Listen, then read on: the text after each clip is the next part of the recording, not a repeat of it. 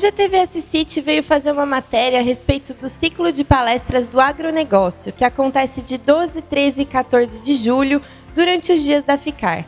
Eu estou ao lado do Chico Antunes, que é o coordenador do ciclo de palestras. Chico, muito prazer em recebê-lo. Nós gostaríamos um pouco de saber é, a importância do ciclo de palestras né, durante esse evento tão importante que é a FICAR. Olá, amigos. É, eu estou um pouco à vontade para falar do ciclo de palestras que já fizemos no ano passado.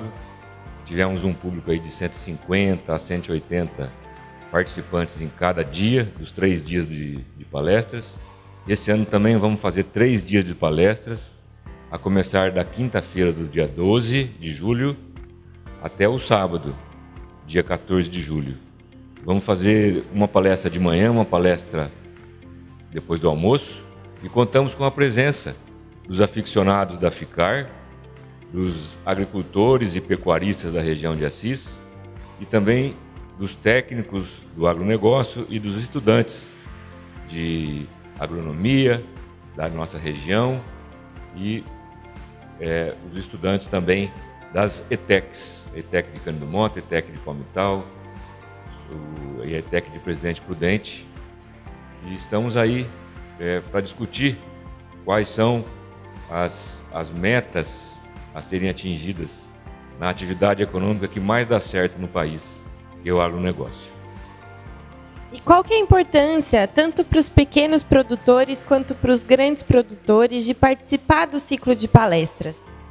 Então, nosso público aqui da região, é, nós temos dois tipos, praticamente assim, resumindo, dois tipos de agricultura. A grande agricultura, que é a agricultura das commodities, que busca a produção de soja, milho, cana-de-açúcar.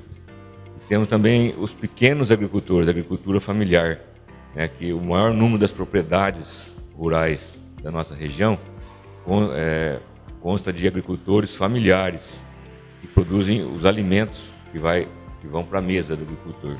A gente quer esse público no ciclo de palestra, porque vamos falar um dia especificamente sobre agricultura orgânica, onde vamos é, apresentar quais são os caminhos para que os agricultores, os pequenos agricultores, possam certificar a produção. Vamos contar também, Nayara, com o Sebrae Móvel, que vai estar presente na quinta e na sexta, só não vem sábado. Esse Sebrae Móvel é, é um ônibus que vem lá de Marília, que vai apresentar para as famílias dos agricultores é, uma diversificação da renda da propriedade. Então, é, terão palestrantes nesse Sebrae Móvel que vão falar sobre a produção de compotas de doce, sobre artesanato com folha de bananeira, para poder é, produzir mais alguma coisa na propriedade para agregar valor à, à, produção agrícola e gerar mais renda para o agricultor. Porque esse é o grande objetivo. Basta ver o que está acontecendo hoje com os agricultores da Prumar, né, que são aqui da nossa região, Muitos deles eu dei assistência técnica quando trabalhava na Coopermota. E esses agricultores tinham lá uma ou duas rendas anuais. E se não desse certo numa safra, ficava o resto do ano ali tendo que emprestar dinheiro do vizinho, tendo que emprestar dinheiro do irmão, do banco. Então, com o advento é, dessa nova possibilidade de poder é, levar o produto lá na feirinha que anda para o mar, esses agricultores, esses agricultores conseguiram renda permanente. Estão com dinheiro no bolso todo dia. Né? Então é isso que a gente quer mostrar para o nosso agricultor. Não ficar só atrás da grande agricultura, que são produtos da commodity, né? É o boi gordo, é o milho, a soja, a cana-de-açúcar. Vamos diversificar essa propriedade, vamos produzir mais coisas para agregar valor nessa propriedade e conseguir mais renda. O agricultor precisa de renda. O agricultor não pode ficar andando de cabeça baixa na rua. O agricultor tem que estar de cabeça erguida e sorrindo com dinheiro no bolso. Esse aqui é o objetivo. É justamente para poder permitir uma autonomia maior dos agricultores, né? Sejam eles de grande ou pequenas produções. Exato. E a grande expectativa nossa para esse ano é uma palestra que nós vamos trazer a doutora Samanta Pineda, talvez venha lá de Ribeirão Preto fazer uma palestra para a gente, falar sobre, sobre a legislação rural. A legislação rural ela envolve o Imposto Territorial Rural, o ITR, que a gente tem que pagar, e agora, ultimamente, o agricultor tá, está se vendo penalizado com o Imposto Fundo Rural. Teria que pagar esse imposto retroativo a anos passados que ele não que ele que ficou que ficou devido a uma nova lei aí que ficou suspenso o pagamento desse tributo.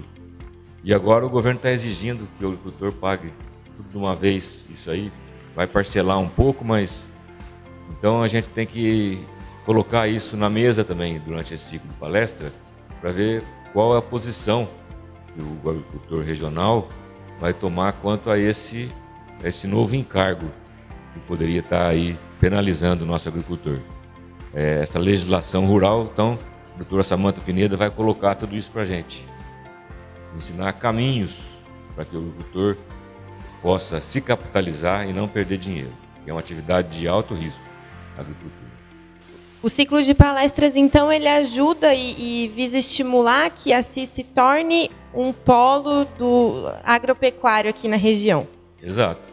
É, não só os, os agricultores vão estar presentes nessas palestras, como os engenheiros agrônomos, os técnicos agrícolas, técnicos do agronegócio, e vão também trazer os estudantes, né, os estudantes das ETECs e os estudantes dos cursos superiores de agronomia aqui da região, Paraguaçu Paulista, Bandeirantes no Paraná, Garça, Marília, e esse ano começou na Unipar, aqui em Assis, o curso de engenharia agronômica, duas, com duas turmas, se não me engano, e vamos tentar trazer esses, esses estudantes também e vamos é, brindá-los com esse certificado que vai especificar aqui o total de horas que o, que o aluno é, presenciou e vai correr uma lista de chamada durante a apresentação das palestras que aquele que presenciou a palestra vai receber esse, esse bônus que vai poder ser agregado no seu TCC, no aquele trabalho de final de curso, né, que todos os estudantes precisam apresentar para conseguir o seu diploma final. E como que os estudantes vão poder contribuir para o ciclo de palestras? O senhor falou a respeito do, da experiência deles, né? O quanto é importante que eles possam relatar como, como é a experiência deles aqui na região? Exato.